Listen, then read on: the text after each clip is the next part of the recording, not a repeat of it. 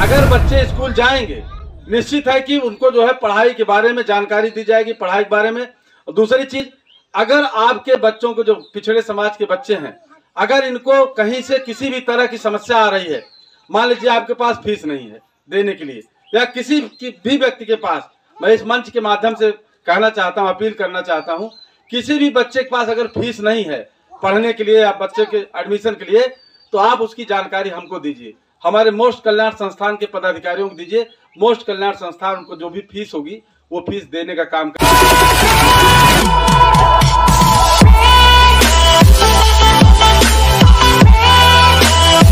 पढ़ाई ही एक ऐसी चीज़ है जिनसे बच्चे चमक सकते हैं।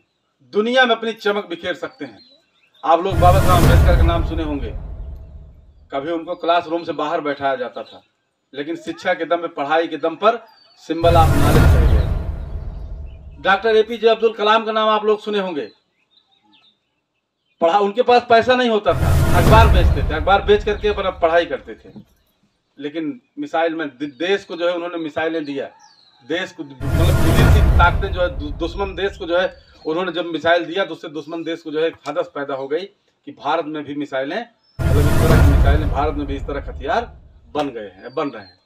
तो ये पढ़ करके, ये पढ़ाई की ताकत है। तो इसलिए आप लोगों से हमारा यही निवेदन है। और आज हम इसीलिए स्पेशली आपके पास आए हैं कि आप लोग बच्चों के अपने जो है पहला काम है करिए कि बच्चे ज़्यादा से ज़्यादा, बच्चों को शिक्षा के महत्व के बारे में बताइए, बच्चों को पढ़ाई के बारे में बताइए कि बेटिया हो, बेटा हो तो आपकी पढ़ाई, आप शिक्षा से ही आप आगे जा सकते हो। आपके पास न पूंजी है, न सामाजिक स्टेटस आपका है आपके पास सिर्फ़ शिक्षा है, सिर्फ़ पढ़ाई है, पढ़ाई के दम पे ही आगे जा सकते हो।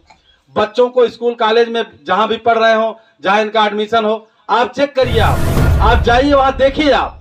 बीच बीच में जाइए टीचर से मिलिए प्रिंसिपल से मिलिए, पूछिए क्या हमारा बच्चा आता है, पढ़ने की नहीं आता है। और आता है, इसकी स्थिति क्या है, क्या इसको और क्या किया जाए। ये चीज़ जानकारी लीजिए आप। और बच्चे के बारे में पता करिए कि बच्चे के बारे में जानकारी करिए बच्चा हमारा स्कूल पहुँच रहा है नहीं पहुँच रहा है। अगर बच्चा किसी वजह, घर पे बच्चे से पूछे, उसको अगर किसी तरह की समस्याएँ हैं, किसी तरह की उसकी कापी किताब की समस्या है, और उसको कहीं और कोई दिक्कत है तो उसको आप पूरा करिए। हम तो यहाँ तक कहेंगे कि आप लोग अपने बच्चों के साथ साथ आपके गाँव में, क्षेत्र में, आपके जो नात बात हैं, आपके जो नात रिश्ते में हैं, अगर उनका बच्चा कहीं पढ़ना चाहता है या पढ़ने की इच्छुक है तो उसके लिए भी आप कापी किताब देने का साहस करिए। उसके लिए भी आप एडमिशन कराने की कोशिश करिए। अगर बच्चे स्कूल जाएँगे, निश्चित है कि उनको जो है पढ़ाई के बारे में जानकारी दी जाएगी, पढ़ाई के बारे में।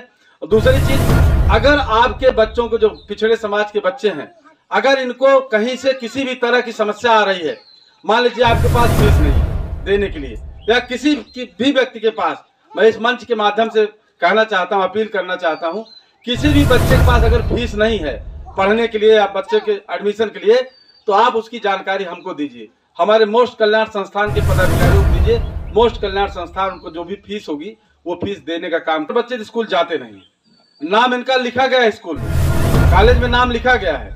लेकिन आपके प्राइमरी स्कूल में अभी आप उठा के देख लीजिए, नाम वहाँ लिखा गया होगा। लेकिन बच्चे वहाँ जाते नहीं घर वाले गार्जियन भी नहीं कहते माँ बाप भी नहीं कहते कि नहीं, जाओ तुम स्कूल में।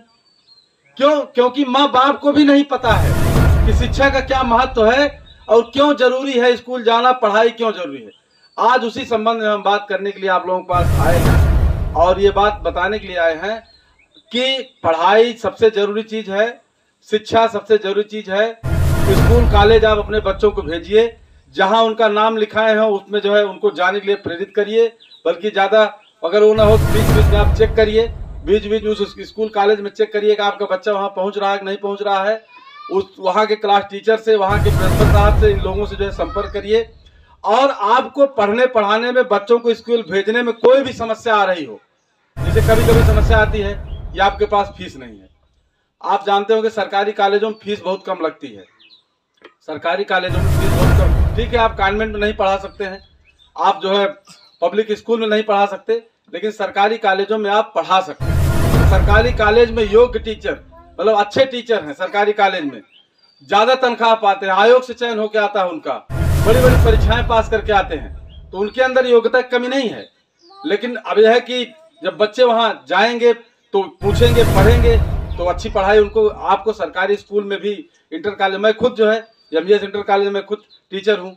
और हमारे यहाँ खुद जो है, जो बच्चे आते हैं, पढ़ते हैं, हम लोग बेहतर से बेहतर जो है करने का प्रयास करते हैं। मैं आज